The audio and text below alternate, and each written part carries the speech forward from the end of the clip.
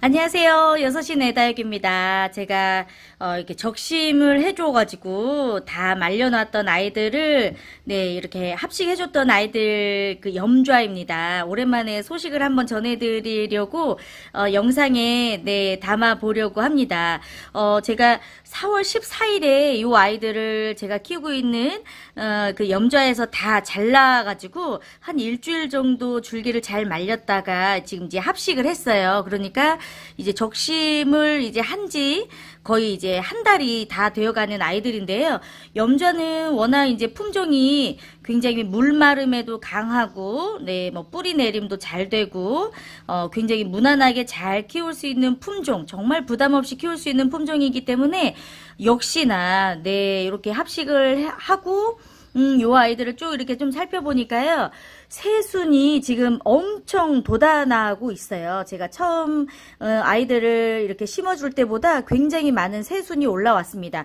보통 이제 어, 합식을 하거나 뿌리가 내렸는지를 이제 좀 알기 위해서는 어, 이렇게 합식을 하고 나서 분갈이를 하고 나서나 혹은 이제 새로 뿌리를 내릴 때 맨 밑으로 하엽이 어느 정도 지는 것을 보고 아 이제 뿌리가 내렸구나라는 걸 이제 알 수가 있는데요. 이 염좌는 워낙 어 이렇게 뭐 하엽을 많이 만들면서 성장을 하는 아이는 아니기 때문에 어 이렇게 새순이 돋아나는 모습을 보고 아이 아이들이 지금 자리를 잡고 어 성장을 하고 있구나 자리를 잘 잡았구나라는 걸 이제 느낄 수가 있는데요.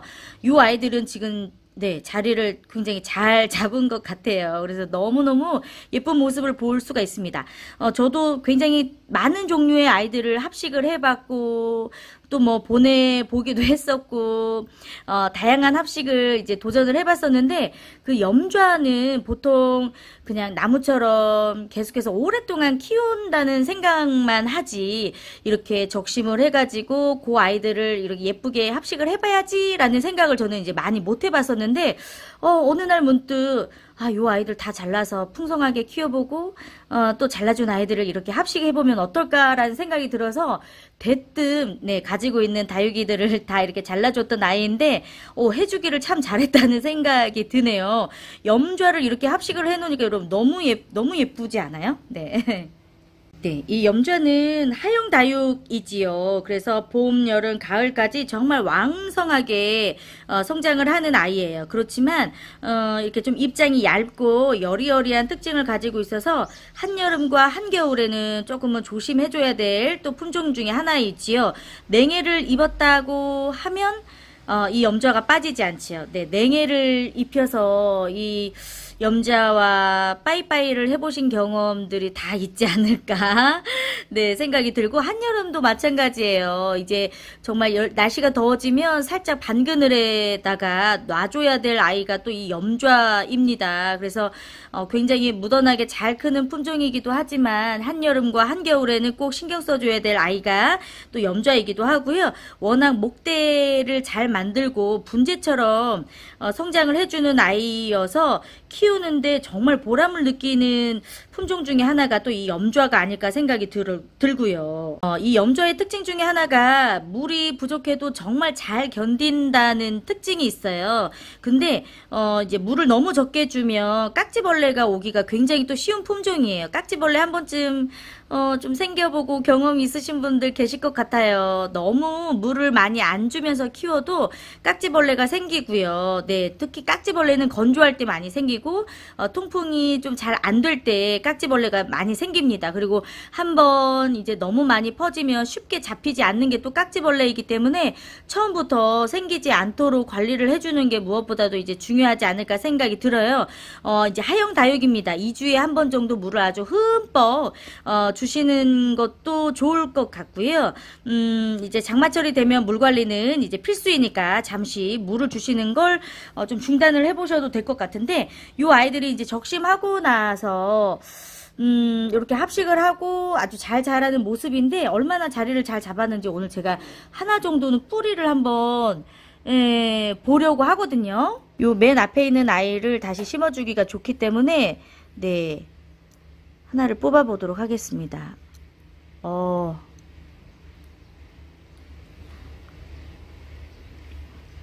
네, 어, 이렇게 한쪽이긴 하지만, 뿌리가 아이고야 네 뿌리가 아주 아주 잘 네 나왔네요 제가 지금 요 아이들을 음, 합식해 준 지는 이제 한 3주 정도 된 것 같은데 굉장히 성장 속도가 아주 아주 좋은 품종이기 때문에 벌써 이렇게 네 뿌리가 아주 아주 잘 나와서 성장을 하고 있네요.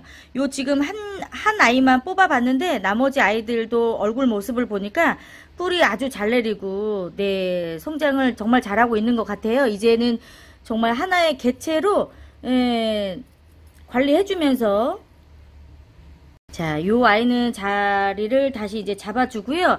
저처럼 합식을 하고 나서 뿌리가 잘 내렸는지 확인을 한다고 뽑아보지 마세요.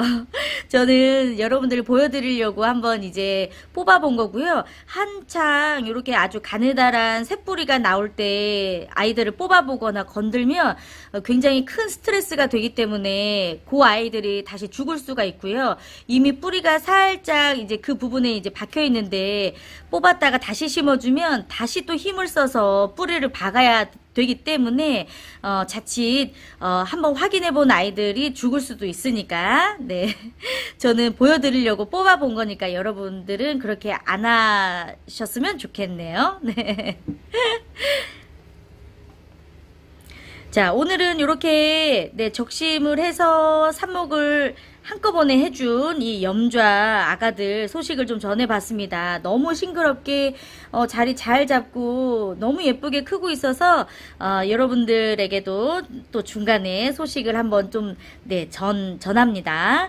앞으로 얼마나 또 더 잘 클지 너무너무 또 기대가 되는 아이네요.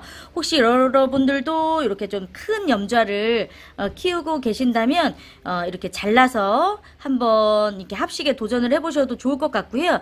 아, 근데 이제 염좌 꽃을 보기 위해서는 이렇게 적심을 해서 심어주거나 또 적심을 했던 염좌들은 꽃이 잘 안 핀다고 해요. 그래서 집에 오랫동안 키우고 있는 이 염좌가 있어서 또 꽃을 보는 목적으로 또 키우시고 있다면 어, 저처럼 이렇게 적심을 하지는 마시고요. 오랫동안 또 잘 자라야 꽃이 핀다고 하니까 꽃 보고 싶으신 분들은 적심은 하지 말아 주시기 바랍니다. 네. 오늘도 함께 해주셔서 감사하고요. 오늘은 예쁜 염자와 함께 해봤습니다. 감사합니다. 안녕.